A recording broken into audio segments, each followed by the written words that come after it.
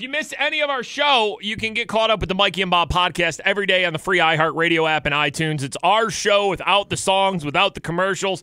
It's just us talking every day. The Mikey and Bob podcast on the free iHeartRadio app. Yep. Uh, let's go down to West Virginia.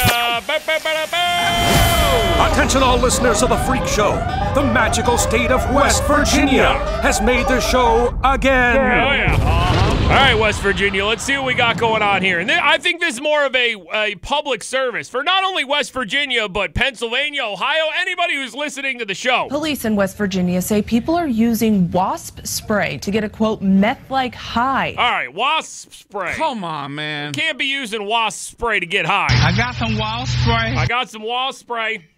State police told WRGB the wasp spray is being used as an alternative to methamphetamine in Boone County. Yeah, I don't know who figures this out that you can get high off wasp spray, but it doesn't seem like a uh, it doesn't seem like a good move. No. I got some wasp spray. All right, let's continue here. Stores there sold 30 cans of the spray Friday. All right, yeah. Officials Dear believe God. the trend played a role in Yeah. three overdoses last week. Yeah, sad. Officials say the spray causes erratic behavior and extreme swelling and Uh-oh. redness of the hands and feet. Are we about to get West Virginia wasp spray stories with erratic behavior And and, people maybe getting high and like naked and just hands? out of control? Right now, Boone County police are working with Wow. poison control officials and local medical centers to find the best form of treatment for the wasp spray. All right, so yeah, I mean it's a public service. Don't get high on wasp spray. Don't do meth. I got some wasp spray. Uh, Pennsylvania, Ohio, West Virginia, wherever you are. I got some wasp spray. No meth, no wasp spray. By the way, you want to hear the full uh,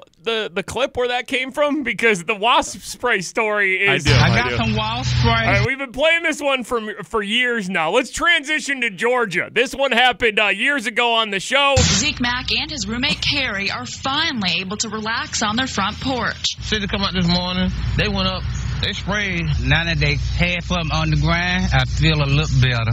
And I can sit on the pool porch a little longer. All right, so uh, it was down in uh, Georgia. They had a problem with bees, uh, a bee's nest on their porch. But even though the city sprayed the hive and hundreds of bees fell to the ground, We got to worry about them flying around on the porch. they still had to deal with the occasional visitor.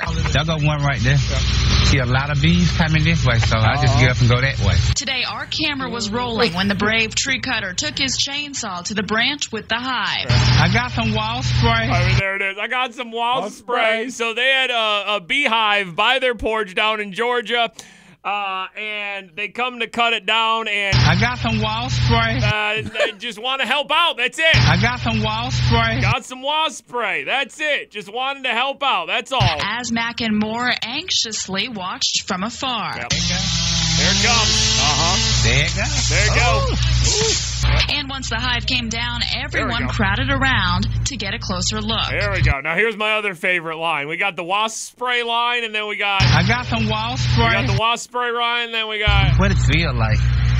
Oh. Sticky. yeah down in Georgia. They touch Oh. the uh, they touch they touch the bee's Sticky. hive, and then what it feel like? What it feel like? Oh. Oh. Sticky. What it feel like? Ooh, sticky. I, that that clip will never get old on our show. I got some wall spray. All right, so if you're in West Virginia or uh, really anywhere, Just don't, enough. Enough with the wasp spray. Yeah, don't do meth and don't do uh, don't do wasp spray. I guess is a meth alternative.